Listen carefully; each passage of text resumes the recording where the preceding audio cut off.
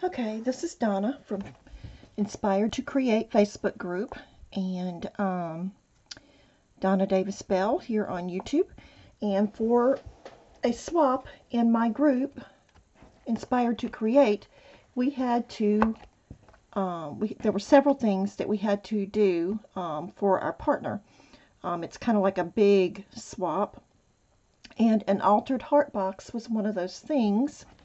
So, as you can see, this is my little heart box. That's what it looks like from the side. Had a little trouble with the red showing through there, but it's okay. It's all good. So all I did was, see if I can lift this up to show you.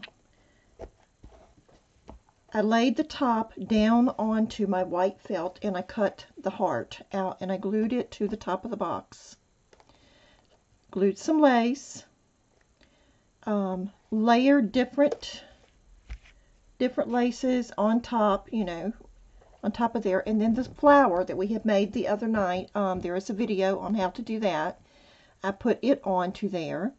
Added some of these little heart rhinestones onto there. Added some flat, not flat back, added some strands of pearls around. You can see those.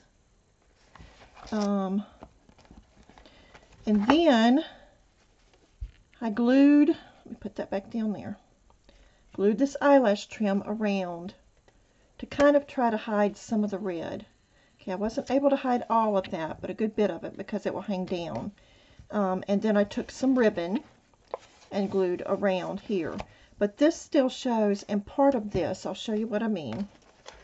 It's not perfect, okay, because part of it still shows, okay but it's pretty. Okay. And inside, I cut a heart shape the size of the top of here, and I put it on the top.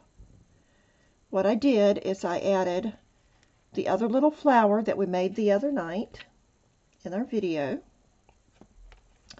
and some different little laces. Um, Marsha likes to sew, and I have this lace that has the little spools on it. You can see them there. I have it in this size and also in this size. So I have included some of that for her. Um, some gold rhinestone trim and some red lace because it is Valentine's after all. And some of this um, bridal lace into here. Just like that. I mean, it's I can't fit any more in there. You can only fit so much into these little boxes. And I layered my lace on the top, and then the top goes on just like that. Okay. It is stuffed. The top will not go all the way down because I've stuffed it so full. But that's okay. It will be wrapped um, so she can unwrap it. And when she, as she uses the lace, she you know, as she uses the lace out of it, she will be able to close the box better. But there you have it, my altered box for my swap with Marsha Faulk. So I thank you. I did try making a video as I was making this, um, altering the box, but I had some technical difficulties with my computer and the video went off. I had to free up some memory and when I went back I had deleted the video where I was making the altered box. So I apologize for that. But you see what I mean and it's beautiful. Um, I would love to see um, your videos of your altered heart boxes. Um, I thank y'all. God bless. And if you want to join in this swap it is not too late. Um, the sign up deadline has passed, but you can still just message me and um, I will try to find you a partner. Read the swap, you know, because there's several things that you have to do in this swap. This is just one.